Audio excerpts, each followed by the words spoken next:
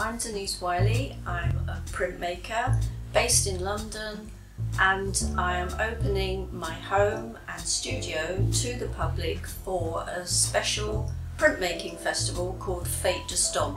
It is a festival where 300 ateliers in France and other hotspots in Europe uh, will be opening their doors for a special day, May the 26th, and I'm taking part in that. And I'm in London, and I hope to make connections with lots of European artists. I've already got uh, prints sent to me that I hope to exhibit, as well as friends and other contemporary printmakers in the London area and the rest of the UK and in fact the world.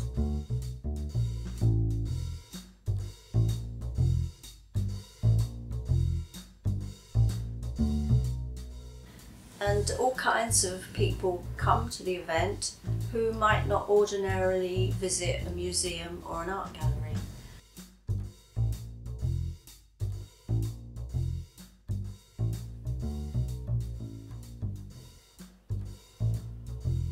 This is the second year I've taken part in the festival and it's very exciting.